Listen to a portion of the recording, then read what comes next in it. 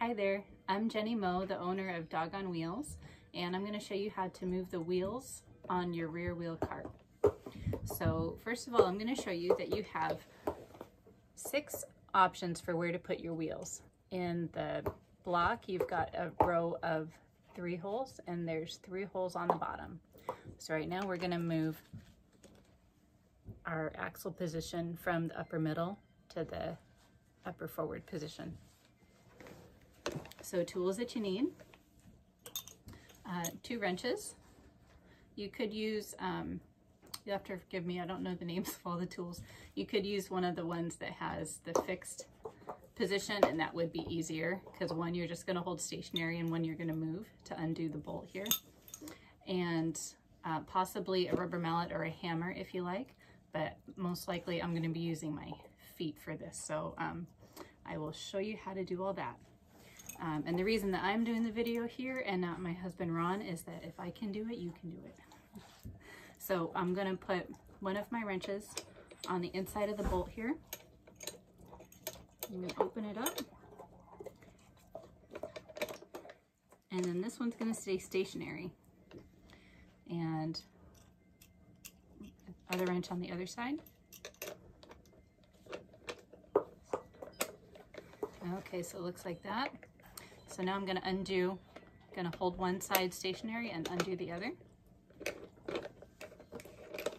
So these ones were not on too tight. So it might take a little bit of work if your dog's been using the wheels for a bit. There may be some grit in there, so it might be a little bit hard to get it off. Um, so once you do that, you're gonna remove your wheel. And make sure you don't lose the spacer. And then we need to get this, the bolt out of the hole. So this is where you might choose to use your rubber mallet or your hammer. If you're using a hammer, I would put a little washcloth over it before you bang the end, um, mainly just for your own ear's sake. So I'll give this a shot. Oh, that was easy. Um, but alternately, I'll show you, you could put the bolt on the floor and then push the cart down. Again, this cart hasn't really been used, so this is sliding around nice and easy. I will tell you that if your dog's been using your cart for a while and now you're moving the holes, it can be a lot tougher. So don't get worried if your bolt doesn't move this easily. So anyway, I'm gonna pull this out and put it into the position that I want. So to explain the different hole positions, the rear hole is generally what we'll... Which one? Sorry. The rear hole is where we often will start and depending on where your dog's leg is, we're looking at where the axle position is in relation to your dog's hip or, um, and leg. So if the wheel is slightly behind like this, um, as long as your dog has nice strong front legs, um, that will be a good position for you. If your dog's starting to have a little bit more trouble, um, then we're gonna move the wheel. You just wanna move it one at a time. Then you're gonna move it to the middle position. So, um, and for dogs with longer backs, that's usually where we'll start.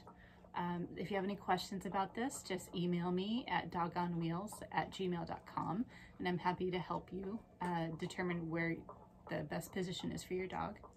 And the reason that I'm taking this video is we're wanting to move the axle position forward to help unweight the front legs a little bit for some of our dogs. So by doing that, I'm gonna push this through, use the mallet. So by moving the wheel forward in front of the hip joint, it helps to counterbalance the cart per se. So if you think of this as um, like a seesaw or a fulcrum, if the wheel is in front of our dog's base of support, it's going to tip the weight back and help off weight the front legs a little bit. So especially then we would generally want a belly strap on the cart as well. So if you don't have one of those, let us know and we can add that to your cart. Um, but that's the main reason that we would be moving the wheels forward is to help help out the front legs a little bit and counterbalance the cart. All right, so I'm gonna come back to pushing the bolt through. I've moved it forward all the way. So you can try just pushing it And you can use your mallet or your hammer to tap it all the way through.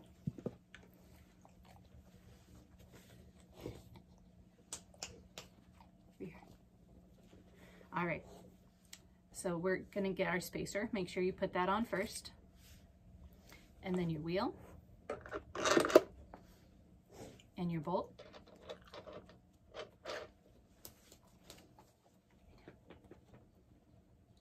Pardon our assistant. He had cookies to keep him busy,